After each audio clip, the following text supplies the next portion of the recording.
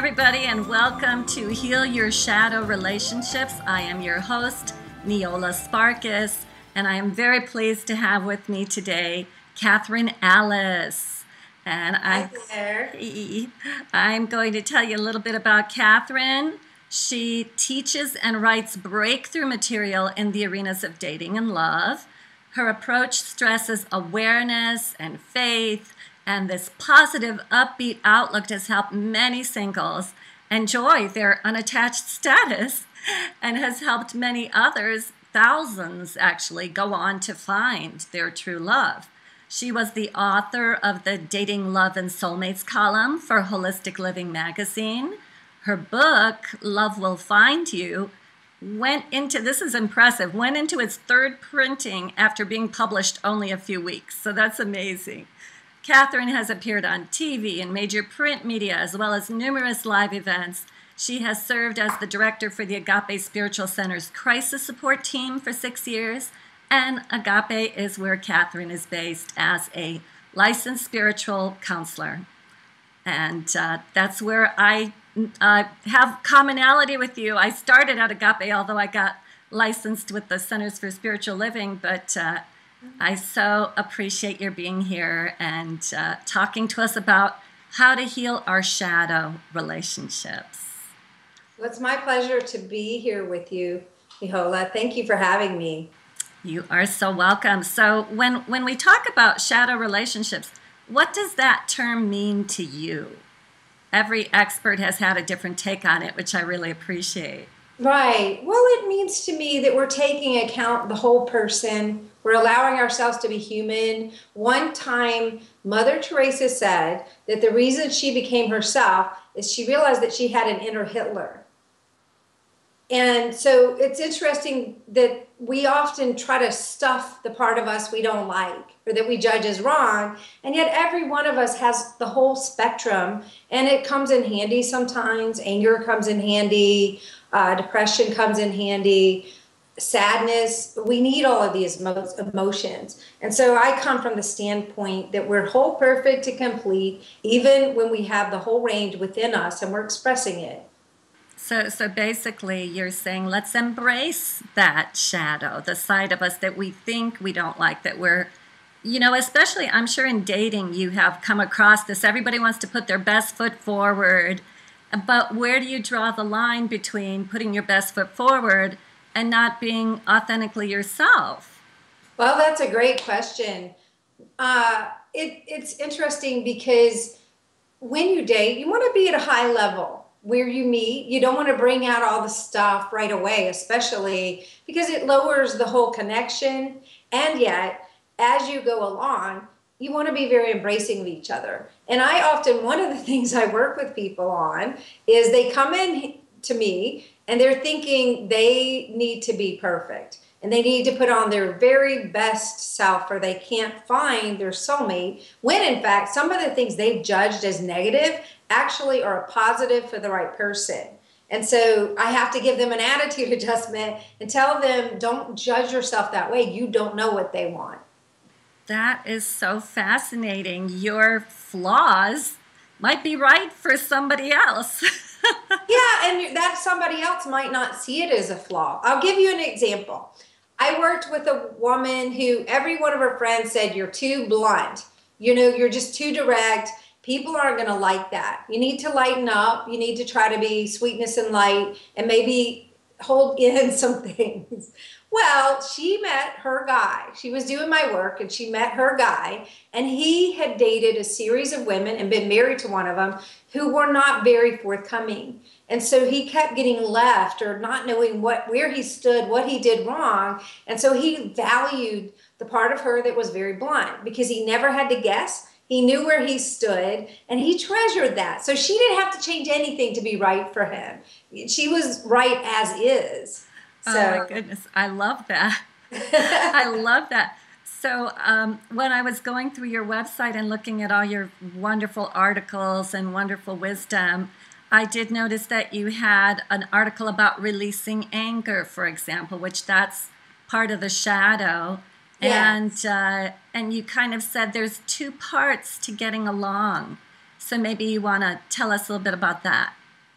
Well, the first part is to try to be at the higher level. Anger is not bad, it's very necessary. We would never have that emotion. When we look at children uh, under a certain age, you can kind of see how anger is the best handle. It comes, it goes. It's expressed, we accept it, and it, we move on. So we start accepting ourselves and expressing the parts that need to be expressed, communicating well. And then the flip side of it is that we accept it in our partner. And we don't let it daunt us. We don't let it we don't take it personally which is a big mistake. It's all about our own wounds or our, our own shadow.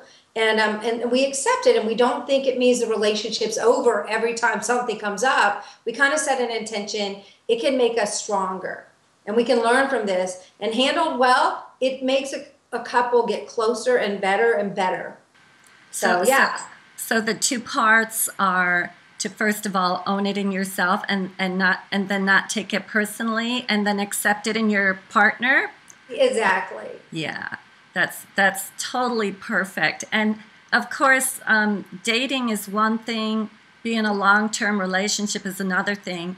When yeah. we're you know we're both married when when we're in our long-term relationship you have so much more time to be able to get to know the person to be able to negotiate you know, the things that uh, kind of don't rub you off too well. What about when somebody is dating and people are making decisions based on how last night went or how, you know, the last three weeks went or the last few months right. went? And um, what do you say to them? I tell them to give it some time. Sometimes people go, and this is very much of a shadow part of ourselves. People are scared fear is a bad motivation. It's a bad mindset to go into dating with. But when they're scared, they have on their judgy eyes. and they're looking at their date, every one of them, just through these critical eyes, and they're checking off the list. Do they have this, this, and this? I believe in a list to get a template, but you don't want to bring the list out on a date. And you want to take these judgy eyes and get rid of them. It doesn't work. And so I ask them to try to see the person from a higher level, connect from a soul level, give them a chance. And when you do, you bring out a better part of that person to really see them. And so that's the biggest thing is to give them a chance to try to see the divine in them. If they're not right, they're not right. They'll know it, but they could have a sacred interaction with somebody for 30 minutes or a couple hours and never have to see them again. But it's always fascinating to get to know a new person. And so I, I asked them to give it a chance. Many times when I've worked with people, if they did, it ended up being great. They just had to be a little more accepting. I can't tell you how many people I've worked with who've had terrible first dates. They were both nervous wrecks, but they liked each other and uh, they had to find that place that, that would calm them down and, uh, and, and have more faith. And then it, it went well. And they ended up together. So. Oh, that's so wonderful. I know sometimes we could just be so nervous when we're going through the yeah. whole dating thing. And it's such good advice to give it time and just relax and, and take it, you know, take it slowly, of course. Don't jump in and don't make snap judgments. Uh, you know, one one of the reasons that that I decided to do this summit is uh-huh. because I had a client that um, got herself into what ter- turned out to be quite an abusive relationship. Oh, and I counseled her to take care of herself. She withdrew uh-huh. herself from the relationship, and uh-huh. a while later, she wanted back in. So, uh-huh. to me, that is truly the shadow at work. You yes. know, what what do you say to people who can't seem to let go of something that might not be so good for them? That's an attachment issue. And it's one of my specialties is letting go. The reason we hang on is because often growing up, we had trauma, and many people have equated love with hurt. And so when you do, you keep attracting people who hurt you and you put up with it. So when I work with people, we work on healing, we work on elevating, embracing that shadow part so we can heal it. It doesn't work to ignore it because you keep creating the same thing over. The other aspect that we work on is the attachment. And the, the better you get, the more you heal, the easier it is to detach. But there's certain technologies you can use. I use a few of them ritual, guided meditation, hypnosis to release the attachment. And that's why we often will go back to somebody who's not good for us or go back even though it's beating a dead horse it's over. We're loath to let go because of the attachment. As a child, you would we would die if we didn't get attached to a primary caregiver. So we're hardwired for it, and it's a big thing to get rid of it. It takes some doing, but it can be done, and a lot more easily than some people go the way they do it. Yeah. So, so, yeah. so in, in the case of this client, she couldn't see her own shadow and what uh-huh. was, you know, what was causing her to want to stay attached to this. What do you say to clients who, I mean, we're kind of hardwired to not be able to see our shadow, right? And, and I tell them go go see somebody like you. You know, go see somebody like me or do my work or your work because we have a blind spot. And uh, it's very easy to miss things if it's your own self. And so sometimes even reading is not enough. They need somebody to walk them through. And I know you and I, and the work we do with individuals or with groups, we're holding their hand through it. And we can see the places they're not seeing in a way that, that you know, it opens their eyes and they're motivated to finally move on and, and dissolve that. Is, is there any way that somebody can see their shadow for themselves to, to recognize it somehow? Definitely, that self-diagnosis is possible. Many times when I've worked with people, or when they've read my, I have some releasing work that, that's out there, releasing a person CD. It's like suddenly, ding, ding, ding, the bell rings, and they finally get it, and uh, and so it helps to to at least be open. Usually, by the time people come to me or to you, they've been through a lot. They've got a lot of pain going on, or they wouldn't come to us. And so, at least they're that open to exploring. Oftentimes, people don't want to let go, and when they don't, they're, they're in denial. You can't talk to them. Their friends will tell them this is not good for you, and they're like, you know, they're closed off. They can't hear it. And so usually by the time they come to us or get my work or your work, they're at least that open. They're motivated by some kind of pain, and that's where pain actually is good because it can push us out of a bad situation. So it's not the best way to do it, but it's one way to do it. it it'll. I always say it's going to happen if you don't take care of yourself. You're going to find yourself at that point of pain because life yeah. brings you there so that you can get clear on what you know who you are and what you really want to create for yourself. That's right, exactly. so, Kathryn, uh, you wrote this beautiful quote that I love. There's no such thing as a broken heart, only one that is expanding into more love. Yes. So, elaborate on that for us. Well, it feels like a broken heart when it didn't go our way. Well, guess what? That's that noose of attachment and so the minute you get the news, you cut it down, you dissolve it, it goes away. But I don't believe, and I have never seen love to be a waste of time. You feel so good. Your heart is opening and you're floating in the air. You're having fun, maybe thinking about something. And so it's not wasted. It's just that process of, of dissolving it when it didn't work out that can be painful. And so I don't believe that people say that right when they're getting out of it and they're in that pain of the attachment. But as soon as they let go, then their heart doesn't go back. They've learned to love more deeply and they continue to go forward and they their lives are enriched. Love is never bad. No, I it's just the attachment.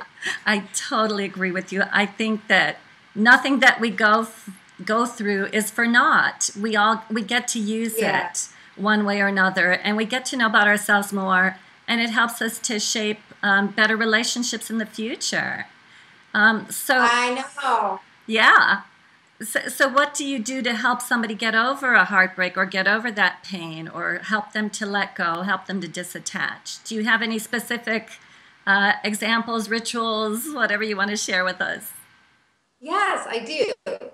Um, what what I do with people is a combination of teaching them, just like we're talking now, and it makes sense. So we're we're getting with the, into their brain and usually their emotional body. But I add into it a guided meditation. We do a release ritual, and then we do the most important piece, which is the replace step, and that's the magic. And so it's easy to have everything framed in the perspective of this person. Would they like it? Would they not? Uh, we're thinking about them thousands of times a day at first when we're attached. As we dissolve, it calms down. We're able, but the more people can focus on their life beyond this person, the better off they are. And so as they do, they're able to move on. And some people very quickly, when they dissolve that attachment, they do meet the right person. And it's everything that one wasn't. I've seen that time and time again in my work. So yeah. Yeah, that that that is just so perfect. To just you know, just mm-hmm. again, embrace it, embrace yourself, accept, let go. Beautiful. And yeah, and I love what you said, Nijole, about um, just that you're shaping what you want. You're, and, and nothing's wasted. That's what I teach. And every time anybody finds love with my work, and it happens a lot, they all say, "Wow, it's time but now I see why I went through everything that I went through. It was leading to this grand finale. And so they can't regret anything. They wouldn't have gotten here in love with their soulmate, living the high life, if they didn't go through all that and refine what they wanted, healed, uh, learn to release better. It, it's, it's never wasted. Absolutely. Now, you talk about different levels of points of attraction. Uh-huh. Do, do, you want to give us some examples of that and, um, you know, some examples of, of the work you do with clients around that? Yes, I would love to. And that really gets back to the shadow part.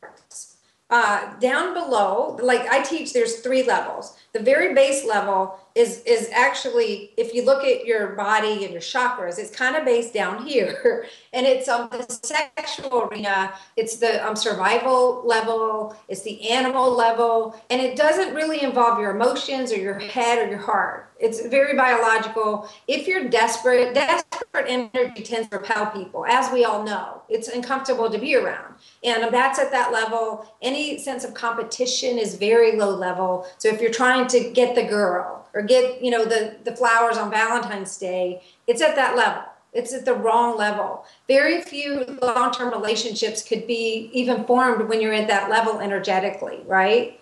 And so then there's the middle level and that's the human level now that's it's based up here actually in your head that's where most relationships are formed and that's why there's a big divorce rate uh, and so that is very head driven it's kind of boring it's like i'm going to meet the suitable partner right? And now you want to go take a nap. Uh, it, it's manipulation where you think you have to get it just right or walk on eggshells or you won't get this. Or you lie on your dating profile because you don't feel good enough as is. It's very manipulative. It's not trusting. It's lower level fear than the bottom level, but it's still fear, right?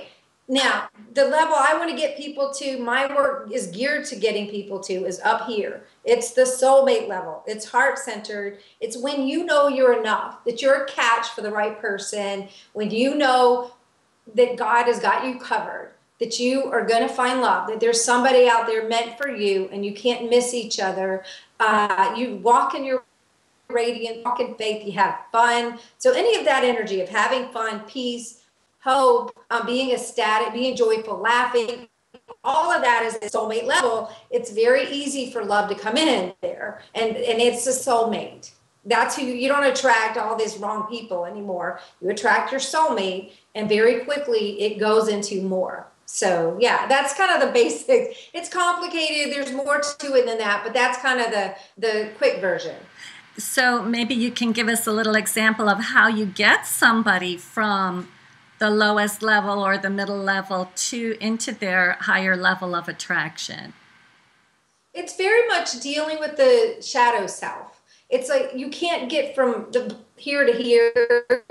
You have to go through. And so if somebody's at the bottom level where they're desperate, they've given up hope, maybe they're suicidal, they're attached, whatever it is, the first thing that happens is soothing because that's all you can do. And when there starts becoming some peace, then you can start replacing with better ideas of things, better ideas of who they are or what they could hope for in love. And, um, and again, I use guided meditations, I use ritual, I use many exercises, and a lot of teaching. And, uh, and so it, there are different components. One is the inner, always the inner. There's no sports team in the world that would go out on the field without getting themselves in the right energy. So this is the same. But then there's the part about meeting people because it takes two to tango. And so many people choke up and go right back down when they're faced with real life attractive people. So then that's where the dating part comes in and keeping them in a good place and getting to meet people more easily. And so, you know, there are different ways to do it, but that's a little bit of how I would work with somebody to get them vibrating at soulmate level and stay there as they meet actual attractive people. Who, and that's who's most likely to be their soulmate, is someone who's hot to them. Absolutely. so, do you want to actually um, tell us the details of a ritual that you might do? Can you share that with us? Sure. Well, uh, for the releasing part, if they had releasing to do, I actually do a release guided meditation, but then it gets good. When you get to the part where you're actually calling in the right person, I do what's called the soul call. It's an inner invitation, a guided meditation that I do where people start feeling that person and they start imagining what they're going to be like because it's always someone who's perfect for us, as you and I know because we're married happily. Uh, it's always someone with bonuses and uh, and so they start imagining what that would be like who it would be. They start feeling them. And from that place of feeling them i ask them to send out and if anybody's listening wants to do a little mini one right now send out their energy. And you can do this for anything. I did it for my literary agent and all kinds of things. We just send that invitation to the person who was meant for you who was earmarked for you you nobody them they're available completely to you and they're hot to you. And so i have them do that energetically and mostly when they do it they feel it and they can feel that person getting it getting the message and saying i'm on my way. So it's very sacred. This is a very simplified way i'm just telling you quickly but it's about a 15 or 20 minute meditation. It's on my manifesting love cd and then there's a little five minute version that a lot of people sleep to and they kind of keep that soul call going in that way. Oh no that that is so beautiful. I so appreciate your explanation and description of that. And I, I would think the most important part for anybody who's doing that ritual guided by you is to really feel it. You know we're talking about it. We're in our heads about it right now. But but when they do it they've yes. got to they've got to conjure the feelings. They've got to embody it. They got to put it into their body and that's where the good juicy stuff comes from right? Exactly.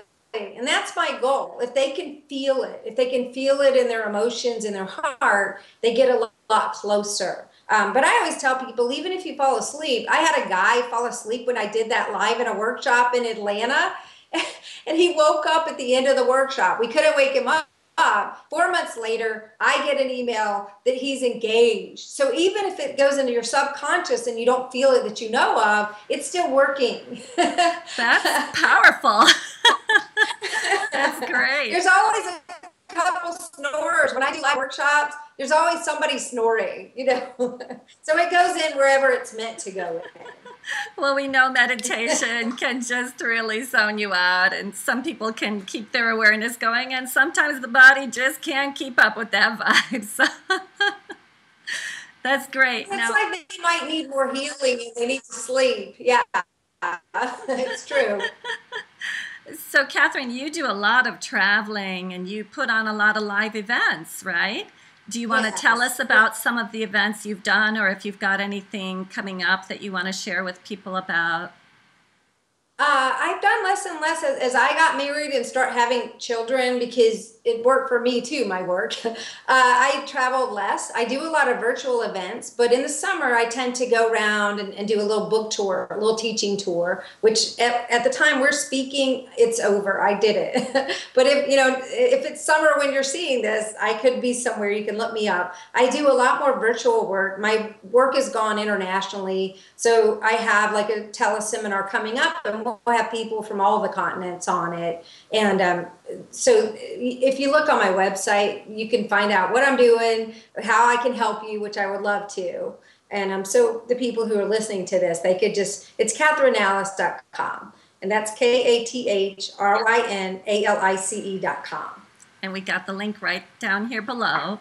And then you're going to give our viewers a fabulous giveaway too. Yes?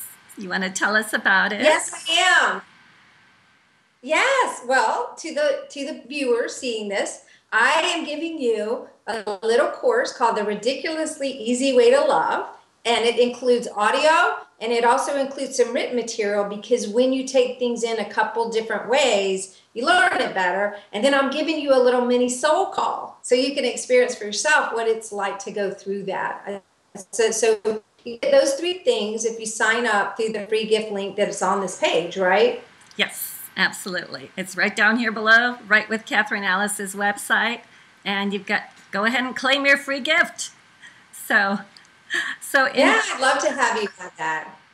In parting, um, do you want to give us a summary of what people can do uh, to free themselves of their shadow, empower themselves, you know, get recentered into their inner power, get into their authentic self, reclaim their hearts, and create true love like you did? Give us a little summary for that. Okay, sure. Well, I would suggest that they embrace the part of them that is in the shadow self and don't judge it. Just know that it's valuable.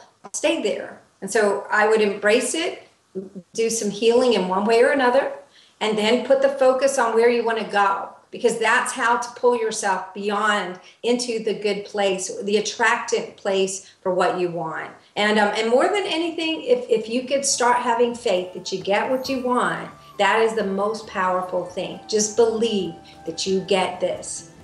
You get what you want, you get love. Because that is a power, as we know. Very powerful. Yes. Thank mm-hmm. you so much, Kathryn, for being here with us on my Heal Your Shadow Relationships Summit. I so appreciate your time and your presence and your beautiful work. Well, thank you, Nijole, for telling, for having me here. You are so welcome, and bye for now to all the viewers.